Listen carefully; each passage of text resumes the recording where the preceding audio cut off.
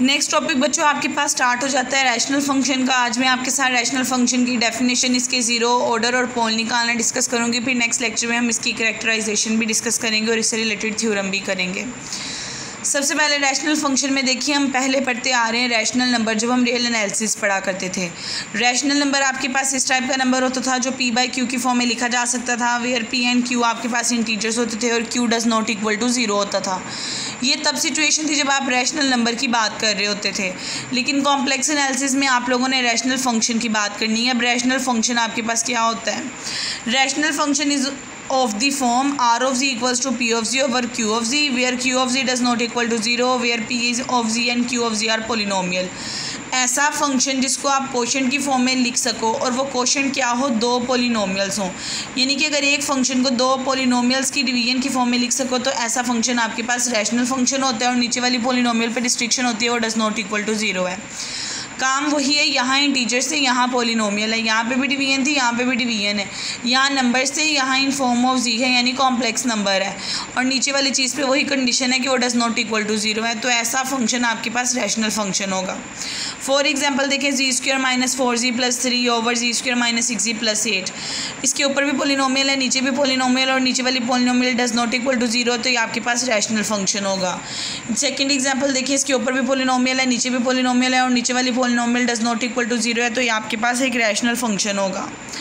अब नेक्स्ट एक इंपॉर्टेंट चीज़ आ जाती है ज़ीरो पोल निकालना किसी भी रैशनल फ़ंक्शन के। पहले आपको इसकी डेफिनेशन बताती हूँ। लेट रैशनल फ़ंक्शन भी अगर देखें, आप कोई भी रैशनल फ़ंक्शन लिखें। आपके पास कोई भी रैशनल फ़ंक्शन हो, अब हम पोलिनोमियल ओपन करते हैं। For example P of z कोई पोलिनोमियल है a naught plus a one x plus a two x के plus so on a n x n और बी आपके पास क्यू ऑफ़ जी कोई पोलिनोमियल है b naught plus b one of x b two of x up to so on b m of x m यानी कोई सी दो polynomials हैं, दोनों की डिग्री डिफरेंट है, जैसे देखें, इसकी डिग्री वन है, इसकी डिग्री टू है, इसी तरह दो डिफरेंट डिग्री की हैं। रैशनल पोलिनोमियल या रैशनल फ़ंक्शन आपको जी की फॉर्म में भी दिया जा सकता है एक्स की फॉर्म में भी दिया जा सकता है। अगर कभी एक्स की फॉर्म में दिया जाएगा, आप लोगों को अंडरस्टूड होना चाहिए, इसकी फॉर्म में एक्स और जी आपस में दोनों इक्वल होते हैं, दोनों कॉम्प्लेक्स नंबर से बिलोंग कर रहे होते हैं। तो अगर कभी फॉर्म में आपको एक्स की फॉर्म में दिया जाए, आप उसे जी की फॉर्म में कन्वर्ट कर लोगे अपनी आसानी के लिए। देखिए, मैं नेक्स्ट स्टेप में जहाँ जहाँ एक्स आ रहा था, उसे जी से रिप्लेस कर दिया, क्योंकि हम कॉम्प्लेक्स नंबर को डिस्कस कर रहे हैं। तो अब आपको कैसे पता चलेगा इसके अंदर से पोल क्या चीज़ होती है? आपको मैंने एक पहले लेक्चर दिया हुआ है पोल और ज़ीरो प्लस में मैंने एक चीज़ बताई थी, अगर ऊपर वाली चीज़ न्यूमिनेटर को इक्वल टू ज़ीरो रखें, वहाँ से जो जी की वैल्यू आती है, वो उसके ज़ीरो को शो करवाती है। डी न्यूमिनेटर को इक्वल टू ज़ीरो रखें, वहाँ से जो वैल्यू आती है जी की, वो आप लोगों की बेसिकली पोल्स को शो करवाती है। तो अगर आपने रैशनल फ़ंक्शन के पोल निकालने हैं तो आपको नीचे वाले पार्ट को इक्वल टू ज़ीरो रखना पड़ेगा। वहाँ से जो जी की वैल्यू आएगी, वो आपके पास उसके पोल होंगे। और अगर आपने उसके ज़ीरोस निकालने हैं, आपको पी ऑफ़ जी को इक्वल टू ज़ीरो रखना पड़ेगा। वहाँ से जो जी की वैल्यू आएगी, वो उसके ज़ीरोज़ होंगे।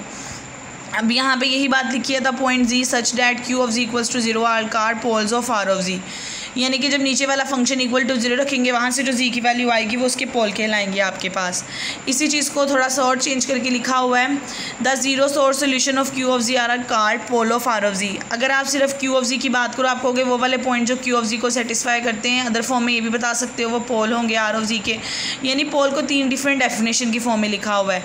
इस फॉर्म में भी, इस फॉर्म में भी और एक थर्ड डेफिनेशन लिखी है the point z such that R of z equals to infinity are called poles of R of z और ये आसानी के लिए लिख दिया ऐसे पॉइंट जिसमें आपका फ़ंक्शन अनडिफाइन हो, उस वाले पॉइंट्स को भी आप लोग पोल कहते हो, ये तीनों पोल की डेफिनेशन है। अब इसके बाद नेक्स्ट आप देखें, आप ऑर्डर ऑफ़ रैशनल फ़ंक्शन कैसे कैलकुलेट करते हो। आप लोगों के पास maximum of M N is called the order of R of M यानी कि ऊपर वाले की भी आपने मैक्सिमम वैल्यू देखनी है, नीचे वाले की भी देखनी है, जो उसकी मैक्सिमम वैल्यू होगी, वो ओवरऑल आर ऑफ़ जी की आपके पास ऑर्डर आ जाएगा। जैसे कि ये एग्जांपल देखें कि एग्जांपल दिया आपसे कहा गया है, इसकी ऑर्डर निकालना है पोल निकालना है ज़ीरो निकालने हैं। ऑर्डर के लिए फॉर्मूला लगाएँगे, दोनों की हाइस्ट डिग्री देखें, इसकी भी हाइस्ट डिग्री टू है, इसकी भी हाइस्ट डिग्री टू है तो आप कहोगे टू ऑर्डर का रैशनल फ़ंक्शन है। पोल निकालने पोल निकालने के लिए डीन्यूमिनेटर वाली चीज़ को इक्वल टू ज़ीरो रखें, उसकी फैक्ट्राइजेशन करें, वहाँ से जो वैल्यू आएगी आप कहोगे ये बेसिकली इसके पोल्स आ गए हैं। जीरोस निकालने के लिए न्यूमिनेटर को इक्वल टू ज़ीरो रखिए, उसकी फैक्टराइजेशन करें, वहाँ से जो पॉइंट्स आएँगे, आप बेसिकली कहोगे उसके जीरोस निकल आए हैं। इसी तरह आपके पास एग्जांपल नंबर टू और थ्री एग्जांपल नंबर टू ऐसा फ़ंक्शन दिया हुआ है, आपसे कहा गया, इसका ऑर्डर बताएँ पोल बताएँ और जीरोस बताएँ। ऑर्डर के लिए ऊपर हाईएस्ट डिग्री वन है, नीचे टू है, दोनों में से मैक्सिमम वैल्यू टू है तो आप कहोगे इसका ऑर्डर टू है। पोल के लिए नीचे वाली चीज़ को इक्वल टू ज़ीरो रखेंगे फैक्टराइज करेंगे, वहाँ से जो जी की वैल्यू आएँगे, आप बता दोगे वो पोल है और उसकी अमाउंट भी बता दोगे कि दो पोल एग्जिस्ट कर रहे हैं। जीरोस के लिए ऊपर वाली टर्म को इक्वल टू ज़ीरो रखेंगे, वहाँ से देखिए जो आपकी जी की वैल्यू आएगी, आप बता दोगे कि टोटल इसका ये वाला ज़ीरो एग्जिस्ट कर रहा है। ठीक है, यहाँ से देखिए नीचे से पोल निकल है, ऊपर से आप लोगों के ज़ीरो निकल है। अब बेसिकली आपके पास यहाँ पर उन्होंने एक और बात ऐड की हुई है। आप जब आर इन्फिनिटी पुट करोगे, तब भी वो आपको ज़ीरो आंसर देगा। कैसे ज़ीरो आंसर देगा? देखें जो हाईएस्ट वैल्यू है डिग्री की उससे आप फ़ंक्शन को डिवाइड करें। जब आप डिवाइड करेंगे तो जी स्क्र से वन ओवर जी बचेगा टू ओवर जी स्क्र इसी तरह यहाँ पे वन थ्री ओवर जी टू ओवर जी स्क्र आप जब जी की जगह इन्फिनिटी पुट करेंगे समथिंग ओवर इन्फिनिटी ज़ीरो होता है तो एट द एंड सोल्व करके ज़ीरो आंसर आएगा। वो वाले सारे पॉइंट ज़ीरो होते हैं, जिस पे फ़ंक्शन आपका जो है वो ज़ीरो आंसर दे रहा हो। तो देखिए ऐसा फ़ंक्शन है, इसमें जब इन्फिनिटी पुट करेंगे, तब भी ज़ीरो आंसर देगा। तो आप कहोगे, इसके दो ज़ीरो एग्जिस्ट कर रहे हैं। पहला ज़ीरो टू है, दूसरा ज़ीरो इसका इन्फिनिटी है, क्योंकि इन्फिनिटी पर भी आपको ज़ीरो आंसर दे रहा था। सिमिलरली नेक्स्ट आपके पास एग्जांपल नंबर थ्री आ जाती है। थ्री में आपको एक फ़ंक्शन दिया है, आप इसका ऑर्डर बताना है। पहले देखिए हाँ ये वैल्यू ऊपर फोर है, नीचे वन है तो ऑर्डर इसका आ जाएगा फोर ज़ीरो निकालने के लिए ऊपर वाली टर्म को इक्वल टू ज़ीरो रखेंगे फैक्टराइज करेंगे, करने के बाद यहाँ से चार वैल्यूज़ निकल आएँगी। आप कहेंगे इसके टोटल फोर ज़ीरो एग्जिस्ट कर रहे हैं आपके पास।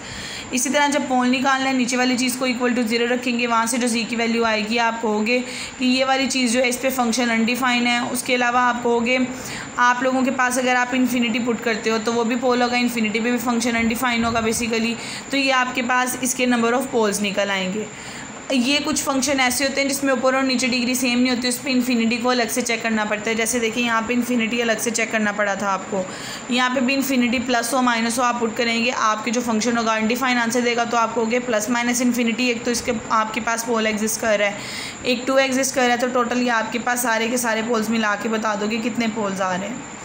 अब यहाँ एक इंपॉर्टेंट बात लिखी हुई है we can split a complicated rational function into simple sum of rational function using partial fraction आप लोगों को अगर कोई कॉम्प्लिकेटेड रैशनल फ़ंक्शन दिया हुआ है, आप उसको सिंपल रैशनल फ़ंक्शन में सेपरेट कर सकते हो, आप उसकी पार्शियल फ्रैक्शन करके। अगर कोई कॉम्प्लिकेटेड आपको कॉम्प्लेक्स नंबर का फ़ंक्शन दिया हुआ है रैशनल फ़ंक्शन उसको सॉल्व करना मुश्किल है तो आप उसकी पार्शियल फ्रैक्शन करोगे, उसे सिंपल रैशनल फ़ंक्शन की फॉर्म में चेंज करके सॉल्व कर सकते हो। तो बच्चों, आज मैंने आपको यहाँ तक क्लास करवाना था। आप लोग आज का लेक्चर सुने, कहीं प्रॉब्लम है तो बताएँ, फिर हम इसको डिस्कस कर लेंगे।